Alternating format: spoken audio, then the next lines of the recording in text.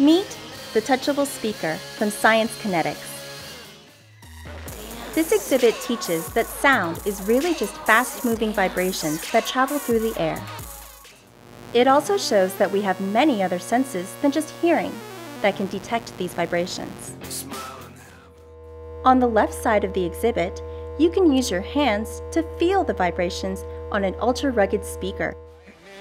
For certain frequencies, you can actually touch sound. On the right side of the exhibit, you can watch little items bounce around on a traditional speaker. For other frequencies, you can actually see sound. Use the touchscreen to select different waveforms and frequencies to explore, including a few different music genres.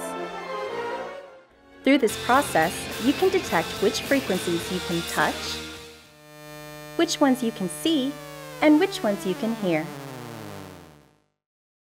For more information, go to www.sciencekinetics.com.